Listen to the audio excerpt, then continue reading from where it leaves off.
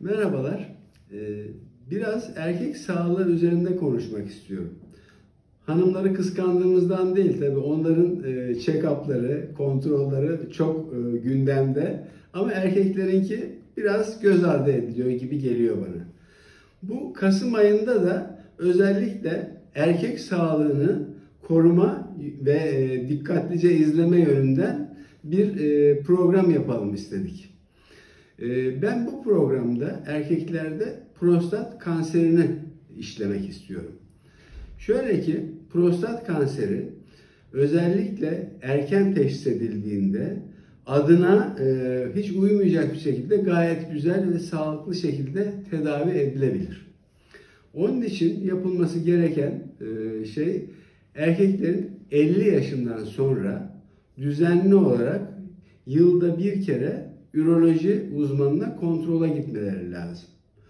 Eğer ki ailelerinde prostat kanseri varsa aile deyince baba, amca, dayı, dede, büyük baba. Çok yakında da bir de abisi. Bunlarda prostat kanseri varsa o zaman 40 yaşından sonra kontrol edilmeleri lazım. Ne yapıyoruz kontrollerde? Bir kan testimiz var PSA diye. Onu artık herhalde bütün beyler öğrenmiştir. Bir de bu prostatın meşhur parmakla muayenesi var. Bunda da epey engellerle karşılaşıyoruz doğrusu ama bu prostatın elle muayenesi o kadar önemli ki hangi doktora giderseniz gidin, hangi branşta olursa olsun bu ellerini kullanmadan hiç e, net bir şey söyleyemeyebilir. Yani teknoloji hiçbir zaman bu duyuların yerine geçmiyor. E, iki test var dedik işte biri parmakla muayene biri de e, PSA kan test dedik. Ondan sonra eğer şüpheli bir durum olursa bunlarda o zaman prostatın MR'ını çekiyoruz. Bu MR'da da yine hala şüpheli durum devam ediyorsa o zaman biyopsi yapmak lazım.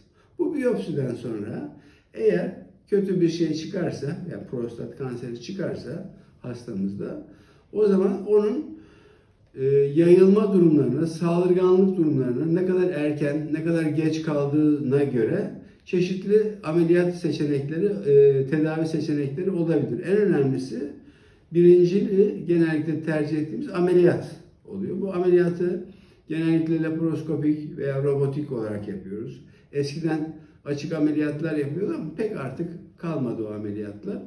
Onun için bu tür ameliyatlar e, yüzde yüze yakın e, bir başarı sağlıyor. Tabii çok geç kalınmadıysa. Onun için özellikle vurguluyoruz e, prostat kanserinde ve diğer kanserlerde de geç kalmadan teşhisin önemli vurguluyoruz.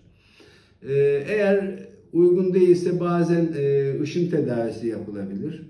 Bazı daha detaylı tedaviler var ama bunlara şimdi girmek istemiyorum kafanızı karıştırmamak için. Ama mühim olan bizim erken e, teşhis için düzenli kontrollere gitmemiz.